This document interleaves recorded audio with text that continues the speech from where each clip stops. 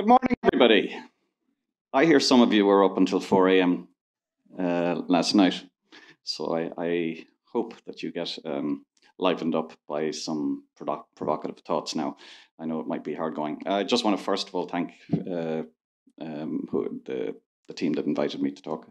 Really appreciate it. Thank you. And for all of you that uh, chose to come to this uh, session. Okay, so uh, Alison is grown in, in some ways very much in parallel to a lot of the academic stuff. We, we do not partner with very many universities. We take their content uh, occasionally, but we rarely talk to them. It's usually open source. But uh, so let me tell you a little bit about uh, Alison and what we're doing in terms of micro credentials, and then I'll I'll uh, move on as requested to uh, look at the future. So um, I started Alison actually 17 years ago, and it's been a, a, a very interesting journey. Uh, the unusual thing about Alison is that it's, it's actually a for-profit social enterprise. So our main thing is actually for impact and uh, after profit. So uh, it, and it designs everything that we do. And a lot of the people who work with us are with us for that reason. Let's.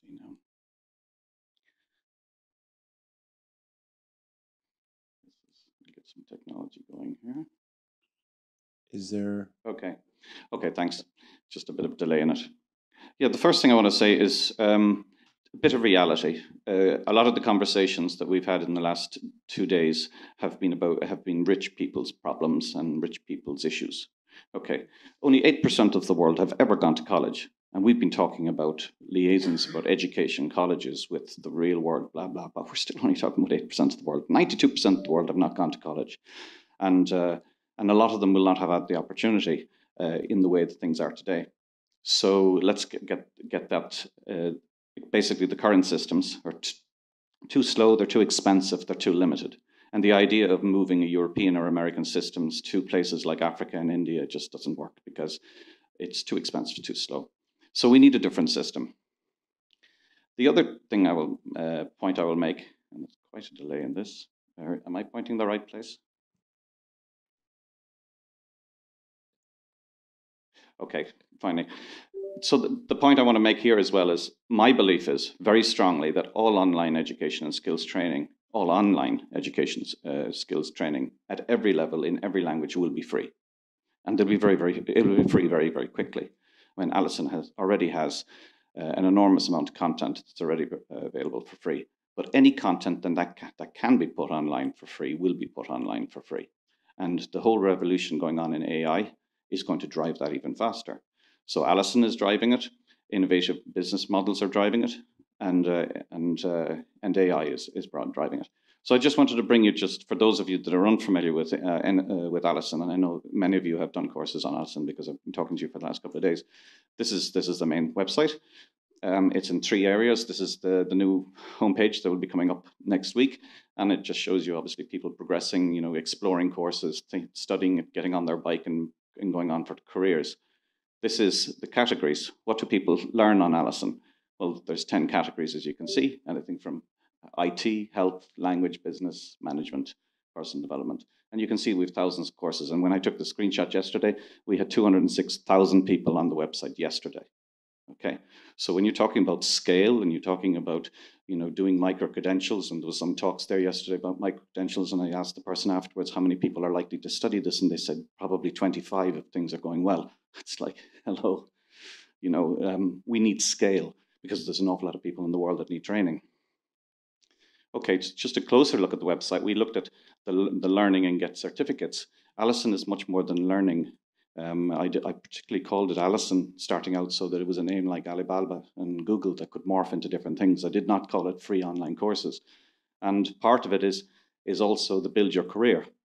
So a lot of what you see on LinkedIn is, is available on Alison and there's growing strength of it, profiles, um, resumes, all, all of that good sort of stuff. The first one you'll see also is there's a, like a, a lot of psychometrics on Alison. So our personality assessment will uh, will test you, you know, saying if you're looking for a career and you're wanting to study something, well, stop a minute. Who are you and what are your skills? What are your aptitudes? You know, it matters as to who you are before you in term before you start considering a career. And um, then we have a lot of information about careers. and obviously the resumes that I've just mentioned. Uh, and then the third part, uh, one thing that you might not notice about Alison, what drives it is people making money. Okay, so we have an affiliate program. If you're a member of Alison and you introduce us to somebody else, you're entitled to 20% of the revenue that we make off them in the next year. Um, that gets big when you have a lot of people online. We have 140,000 people who are members of our affiliate program. It drives a lot of traffic. Um, you can refer your friends and get free certificates, and you can uh, teach on Alison. There are some publishers who are experts who make hundreds of thousands of dollars on Alison as they sleep. Right, so uh, it's a it's a there's such volume that if you're an expert, you should be making money until that uh, information is commonplace around the world. So um, yeah, and then just to talk about how we make money on Alison, how we sustain ourselves. So for those of you familiar with the platform, there is advertising on the on the platform. There's less and less advertising on the platform because we don't have to have as much as we've used to in the past. And then because it's a social enterprise, we don't insist that people buy a certi certificate. If you study, you can prove that you've done the course without actually buying the physical uh, certificate. But enough people actually buy those to, to make a very significant income. So uh, Alison graduate, we graduate 7,000 people a day. Right, that's a lot of people. And uh, I don't know if you can think about any other organizations that you're aware of that have 7,000 people graduating every day. And maybe you might reflect on your organization and its impact, and then the potential impact of online platforms and how, how far we can reach. Um, and in January alone, we had 1 million free hours of learning. And I think for those policymakers in the room, have a think about what that would cost a government to provide 1 million hours of free learning in any one month. And you can look at the social cost and the social saving that we're making in what we are doing. We are providing an enormous amount of education at a price that is, that is way, way less than the current way of doing things. Okay, our target this year, we are on track for about 2.4 million people to graduate, but hopefully by the end of the year we'll get to 3 million. In three years' time, we hope that we will be graduating 50 million people a year. Again, think about what that means for your understanding of the industry globally.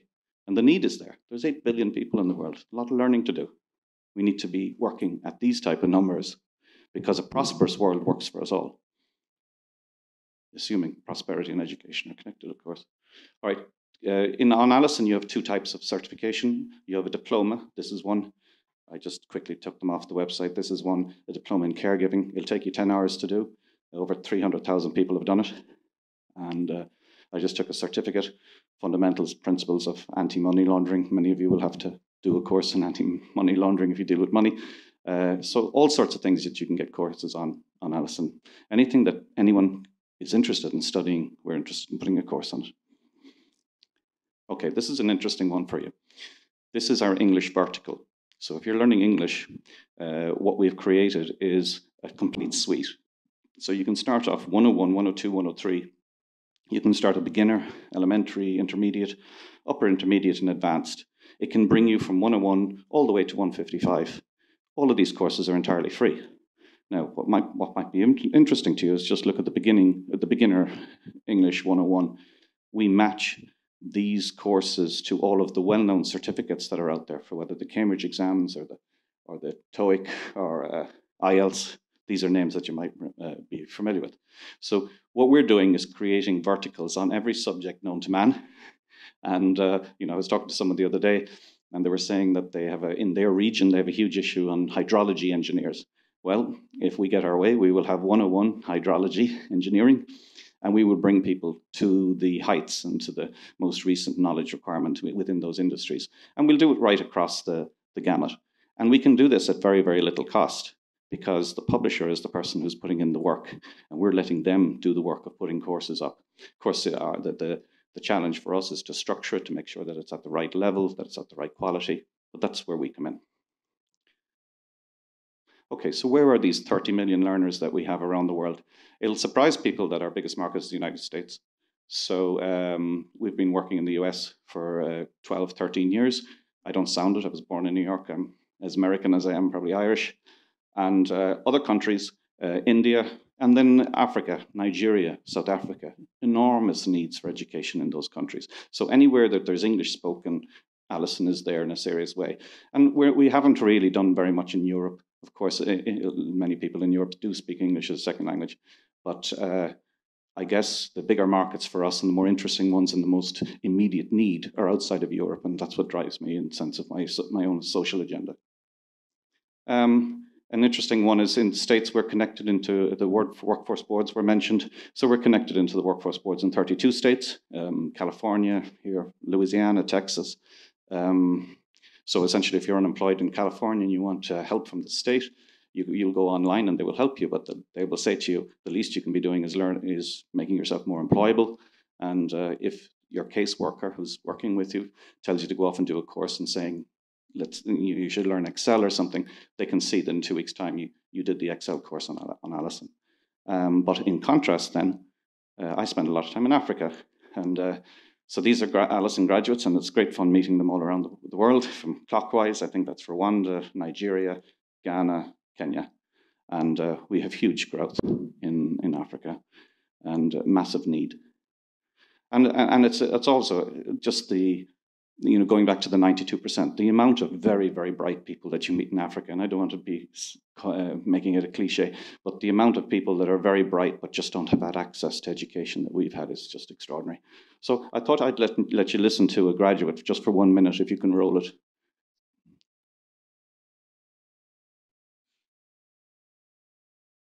Volume, please, if you can.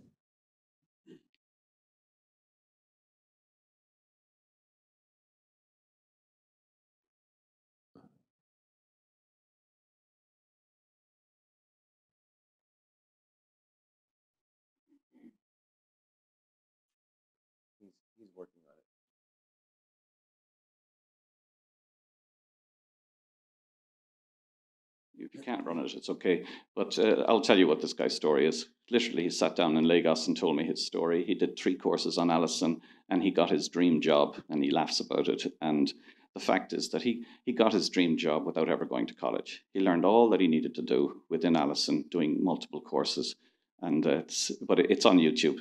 And, and as there are thousands of Alison testimonials on, on YouTube, so just go look at them. This one just one has happens to be my favorite one. So let's let's keep going. And anyway, in essence of time, let's. Uh, can we go back to uh, the presentation?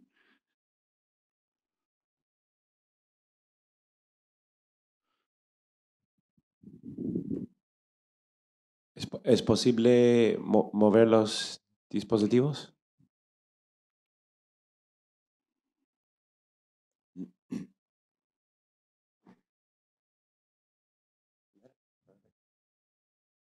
Okay, all right, let's go past it. This is a fairly basic uh, uh, slide that I've just put together myself, as you probably can guess. But it, but it just tells about the diversity on the platform. I, I consider Alison an empowerment platform. Learning is only part of it. It looks when you go to the homepage that it's all about learning. That's more to do about search engine optimization than anything. So and you get the learning and skills. We have nearly 5,000 courses. So it helps you to know more and to be able to do more. But then the psychometric side of it, we've I mentioned the, the um, the uh, the, the personality tests, but you, you, you'll very shortly be able to do numeracy tests, you'll be able to do verbal reasoning, abstract reasoning, and what you'll be able to do is compare yourself with the standard. So you can say if you have a num- if you do a numeracy test, you can see just how more how fluent you are in Ireland in comparison to somebody else. Or if you're in Nigeria, we can tell you, you know, where, where your ranking is for that country. Um, careers, get a job, get promoted. A lot of the recruitment uh, opportunity for us we have yet to develop, but it's coming. And then the mental health uh, it was mentioned a couple of times yesterday, very, very important. So on Alison, we have a mental health test, and you get that quarterly. Just sends an email to you and saying, how are you doing? How's stress? You know, and all of those things. It's very important to keep people's mental health in, in, in, check. And all of those things, you can imagine how much information it was made by uh, Jake there about how much information platforms like LinkedIn or Alison have on people. Um, used in the right way, can be extraordinarily po positive. Okay, and then marginalized. Yesterday, in particular, some of the EU policy speakers talked about marginalization and how do we help them. Well, obviously, it's free, and that really helps. But it's amazing to us in Alison just how, how much free matters because a lot of people don't have money to access education. My view is that, oh, well, I know, te technically, I honestly believe that education is entirely going to be free in time because it won't be, you won't be able to hold it back uh, and, and make money out of charging for it. But disabilities, refugees, hundreds of thousands of refugees in Alison, people that are elderly, people rec recurring, uh, you know, getting better from illness, people getting back to education, girls in particular. You know, right across the Middle Middle East, it's hard sometimes for young girls to get online and get educated. They can easily get onto Alison. It's entirely free. They can learn as much as they want. It works very well. Um, just a couple more comments about Alison generally. Uh, so the free publishing tool. So if you're a subject matter expert, you can go on to Alison. You can train up, create your own course. Um, you will have somebody within Alison uh, that will be watching uh, the quality of your material. Um, you will be able to, if you want to be able to create a course, you need to go through the Alison certificate, uh, become an Alison certified publisher. There's three levels. When you're at level three, you can publish publish away, and we'll check ever so often what you're doing. And if you don't have time to be a publisher, then we have a lot of uh, qualified Alison certified publishers around the world, particularly in Africa, that will work for you for 40 or $50 a day and put up your content for you. We have a lot of private courses on Alison that you don't see. So we have four to 5,000 free courses, but a lot of companies have courses that they have for their own employees um, that they can use uh, behind things. And then a very cool thing is that in a couple of months, we're going to have a free learning management system. So uh, it's not just about helping individuals to learn, but uh, you know, small medium, small medium companies and small companies itself employ 70% of the people in the world, and uh, very few of them have training programs. Well, with a free learning management system, it'll cost them nothing to create a group and to have all of their employees on doing stuff. And I guess my vision is like having the bakery and at the corner uh, in a small little town, and uh, that all five people would be doing customer service, accounting, basic HR, and then the guy can take out his uh, the baker can take out his phone and make a little video of how he makes croissants. So when the next person comes in, before they even step in the shop, they will have done a, a number of courses to make them more efficient. All of that can be free because we still make money when it's provided free to the company. And then just uh, a thing, I might have mentioned a few of these things to know. So all of our basic services are free. We're self-funded. Uh, we haven't taken in money for 12 years. Um, I'm a social entrepreneur. I have the majority shareholding of Alison. It will be a social uh, enterprise as long as I'm in control. Uh, so the nice thing is it gives us a lot of freedom. If there's a project that goes around that I need a million quid for, I can actually put it in and I can agree on it right now. Um, that's that's very different from colleges. Who uh, how many times has been mentioned? Oh, if the only funding was uh, was available, I don't have that problem. Automation. Uh, our engineers are gone absolutely giggly with excitement of all the AI tools that are coming up. We're into AI big, big time anyway, because we don't make money if we talk to anybody. It's all a platform. So expect a lot from us on AI. And I guess the, the aim for us is to be a trusted platform. You've come across things like Facebook, you know, being mentioned as often as a toxic platform. What do they do with the data? We're very careful with data. And the, with all of this change that's going on, I guess my goal is that Alison is a very large, uh, socially focused platform on which we can do an awful lot of things to better the world. Oh, this is a this is a monastery that Alison uh, we bought this last year, and this is our headquarters. And essentially, it's the monastery of the or the the, the, the office of the future. None of our staff want to work in it, uh, but when they come to Ireland, there's 20 rooms there, and we all stay together and have a great time. Uh, so, of our 200 staff, everyone is virtual, and we've only 25 in Ireland, even though we started in the west of Ireland in uh, the town of Loughrea in Galway. Okay, so just a few short comments of the future. So, I was asked to think about the future. All right, my view is that credentialing will no longer exist of any kind. Why? Uh, so, I, have said at a note at the bottom that it um, it'll be replaced by skills auditing and, and basically competency testing. Uh, if I want to hire somebody uh, for a job on Monday morning, I want to know what they know on Friday. Right? I don't want to take a piece of paper and say that they knew something 20 years ago. It's, it's useless to me. So you can literally get somebody and sit in front of the PC and think of all the assessment questions that we have on Alison. We have about 100 questions per course and we have 5,000 courses. But we're producing about 100 courses a month now. We're going to be going up to about 1,000. There's an enormous amount of questions that we have. So if we can organize these questions and start asking them to people and be aware of what type of a level of a question it is, we can very quickly find out what this person knows or not or doesn't know. So we can ask them about English language, Excel, and then get very specific about hydrology or whatever it is. So we can get a you can you by sitting somebody down, you can find out what they really know. The other thing as well, you can give them all sorts of tests to figure out what type of person they are. Then you have all the information that they tell us in their resume and their profile. And then there's all the information that they put about themselves on the web anyway. So you have an awful lot of information about people. So the necessity of taking credentialing as a whole, credentialing is signaling It doesn't tell you exactly what they know, it just tells you what they might know. It's not good enough today. AI will get rid of that. So, and then the other nice thing about, so you can do a skills audit for a person, but what if you have 80 staff in your company? Well, give the, whole, the same individual treatment to the whole company. Now, a CEO of the company has an absolute full idea of what the skills capability of the company is. And what if you could do a country? The small countries that we operate in, in Qatar, Armenia, I have approached those governments. I've said, hey, let's give everyone in the country a, a test. You know, it's not so crazy. You could actually find out exactly what your people, what your workforce, what skills they have and think about how helpful that would be in terms of developing economic policy. So, uh, credentialing, anyway, I don't think it may exist. It's going to exist for the next five or 10 years. After that, I'm not so sure. AI is really developing. And also, people might say, for oh, well, for a doctor, you're going to have to have a doctor, you know, you're going to see what he does. Well, virtual reality tests can be done very quickly.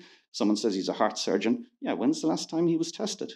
Who, who's to say that all the heart operations he did last year were really, really good? Yeah, okay. There might be some evidence there, but give him a virtual reality. Let him t- show you how he can navigate a certain operation. The thing is, you can test him because you can. Why not? Of course you do. So uh, I see some skeptical faces out there. Um, enhanced prosperity. Everyone will have access to a smartphone web. I mean, uh, some of you are familiar with in India with Jio. You know, you can Jio. There's what three, four hundred million people in India. It costs something like four months, four dollars a month for uh, almost unlimited bandwidth. You take the poorest country in the world, Burundi, uh, the average income is about $600. Will somebody in Burundi pay $4 a month to have a smartphone and access to the web? Yes, absolutely. I've been there. They will. So, this idea of people getting online, they're going to get online very quickly. Uh, demographic destiny, we need to get used to it. As Americans, as Europeans, we are small in the world. Europe, 5% of the population, America, 4% of the population we need to be far more competitive. It's one of the comment I made to William there yesterday was, you know, as a, as a whole, we need to have our education system which is globally competitive. It's hardly mentioned in any of our discussions. We're just happy the way it is, and we're trying to figure out how to rearrange the Titanic in a way. We need to be sharp about this because the world is getting educated at an awful rapid rate. Climate change, big issue for most of us, I'm sure. I'm fairly hopeful. I think that in the next four to five years, there's going to be accelerated learning generally and if applied to ch uh, climate change, we can do something serious on it.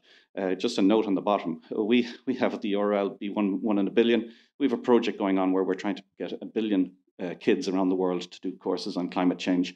If you think that you can help with that, please talk to me. Um, Post-primary and uh, education in particular, uh, I think it's a travesty that we don't have a full, free secondary school online in every language for every country The technology can be done. It can be done really easily. The amount of content that, that's taught in schools is tiny. It's ridiculous um, that we don't have it. We're working with a school in Ireland that's entirely digital, and we're doing a full free post uh, post primary school um, platform for Ireland. But the main reason we're doing it is to really bring it to Uganda and to Kenya. Imagine in Uganda, 42 million people, average age is 16, no education systems are very poor. So we need to do something there. Alternative sentencing. That's me in a court in upstate New York, uh, Sunni country. Um, this, this young man was sentenced to drug court. I convinced the judge not to send him to jail, but to give him two Alison courses to do. Right? And, um, uh, and he did them, and he didn't have to go to jail. I think the free learning has very interesting properties. It's the fact that the judge could sentence him to do courses because it, it didn't cost the court anything to send him right? So in the future, if you drive too fast or if you're violent or whatever, you'll have to do a course mandatorily, a free course on why you should not be doing these things. I think it's it's part of the future. All right, and this is the last slide, and this is just really appeal to you.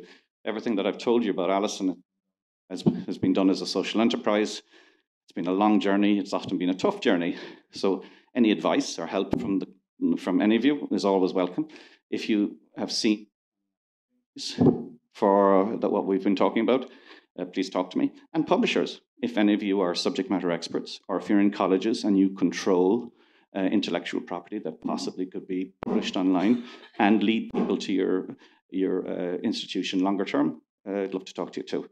Uh, you can do very little on your own. So that's me. So I hope that's been provoking. Thank you very much. Mm -hmm.